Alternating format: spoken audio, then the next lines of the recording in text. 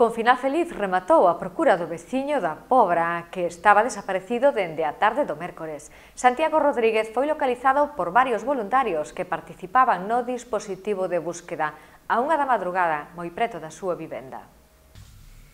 Santiago Rodríguez, o veciño da Pobra desaparecido dende o mércores ás 5 da tarde, foi localizado por varios voluntarios que participaban no dispositivo de búsqueda a unha da madrugada.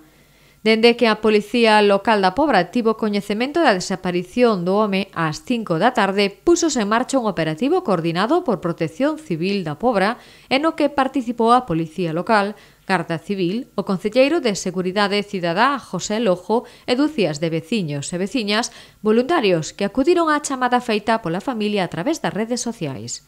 Distribuídos en grupos peinaron todas as zonas próximas á vivenda do home no lugar da baiuca e mesmo chegaron a Cabío e o Castelo, ao recibir chamadas de veciños que lles parecera velo.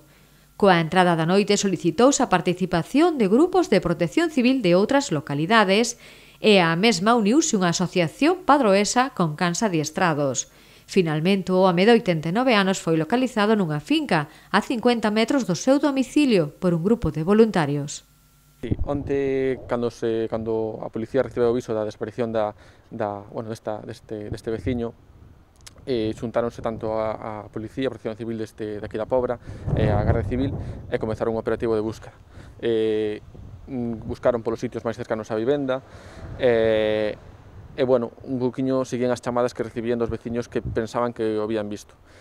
Eh, despois, che, cando quedou a noite, eh, Protección Civil, eh, mai, bueno, Eh, decidiron pedir axuda a outras, a outros, a outras agrupacións de protección civil, como pode ser eh, a de Rianxo ou a de Catoira, e ademais se uneu ao, ao operativo de búsqueda unha, unha, asociación, unha asociación de búsqueda de persoas desaparecidas que ten, que ten sede en Padrón Truxeron de tres cans para, para comezar a búsqueda. Que, por sorte, non hubo, bueno, non, non deu tempo moito a, a, a que fixaran o seu traballo porque porque uns veciños toparan a esta persoa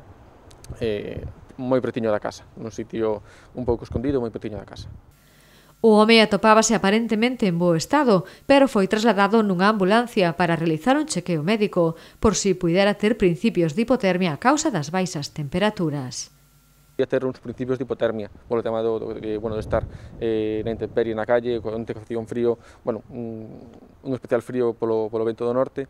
pois tiñas uns principios de hipotermia e por eh, e por seguridade chamouse a ambulancia para que lle fixeran un, un chequeo.